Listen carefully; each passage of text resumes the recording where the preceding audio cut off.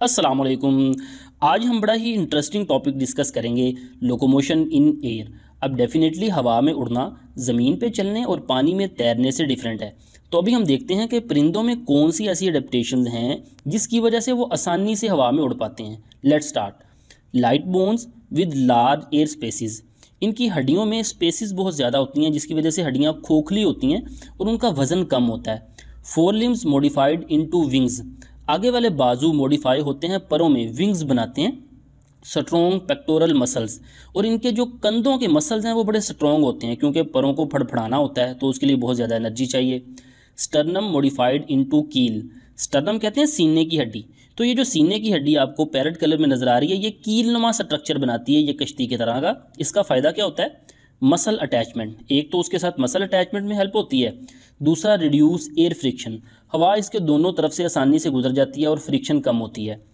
Body covered with the feathers पूरा जिसम परों से भरा होता है, जो कि परिंदे को वार्म रखते हैं और एनर्जी प्रोड्यूस करने में हेल्प करते हैं। बॉडी इज़ स्ट्रीम लाइंड इसका जिसम स्ट्रीम लाइंड होता है स्ट्रीम लाइंड ऐसी बॉडी को कहते हैं, जो दोनों तरफ़ से टेपर्ड होती है तो हवा आसानी से बगैर फ्रिक्शन के गुजर जाती है।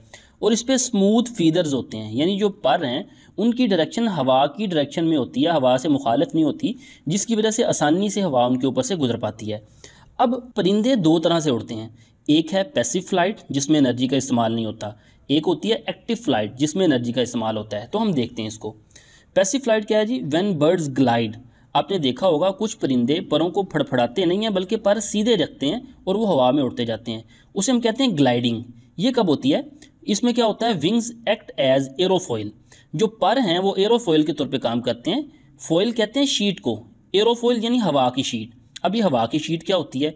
Any smooth surface which move through the air यानी कोई भी स्मूथ सरफेस जो हवा से गुजरती है at an angle to the air stream और उस सरफेस का हवा से एक ख़ास एंगल होता है। अब इसको समझिएगा। अब ये जो पर है ना, इसका हवा के साथ ऐसा एंगल होता है कि हवा ऊपर से गुजरती है तेज़ी से बनस्बत नीचे के। यहाँ पे बर्नौलिस प्रिंसिपल काम करता है।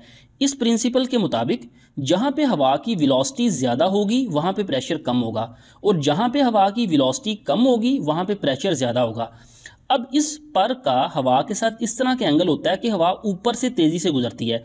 तो ऊपर हवा की वेलोसिटी ज़्यादा होगी प्रेशर कम होगा। यानी पर के ऊपर की तरफ़ वेलोसिटी ज़्यादा प्रेशर कम। जबकि पर के नीचे वेलोसिटी कम होगी और प्रेशर ज़्यादा होगा। मतलब ऊपर प्रेशर कम, नीचे ज़्यादा।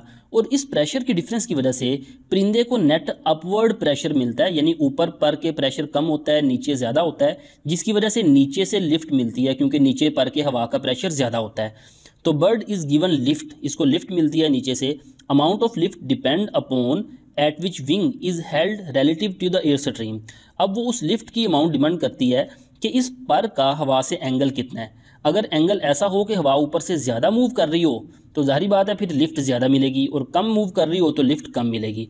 Active flight flight by flapping of wings इसमें परिंदा परों को फड़फड़ाता है। जैसा कि आपने ज़्यादातर परिंदे देखे होंगे।